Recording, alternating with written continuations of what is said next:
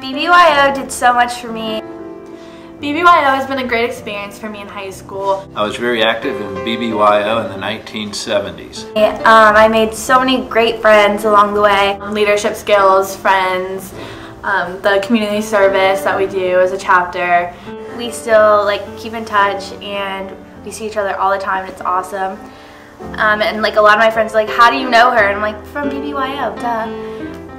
I made friends from all over that are still my friends today. I really enjoy meeting people from Augusta, Columbia, and Savannah once a month. Get together and have a dance, and it's just a really good time and something I really look forward to every month. I've been to Labor Day. I've been to AIT Mid, played by her, and I learned a lot.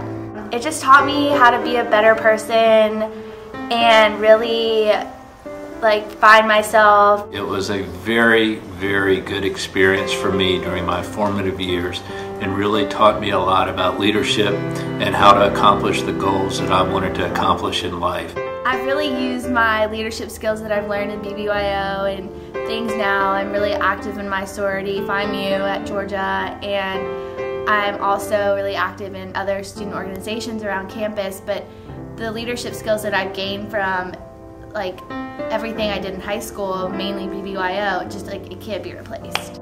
And now it's really cool because my little brother is in it, and my little, my older sister was just in it, so it's kind of, and my dad was in it, so it's just kind of, we're going down the line. I just had an awesome experience and I can only attribute it to Dixie Council. It's from one generation to another. It's a great program that pays dividends throughout your entire life. I'm Molly Kalinsky. I'm Caroline Kalinsky. I'm Jake Kalinsky.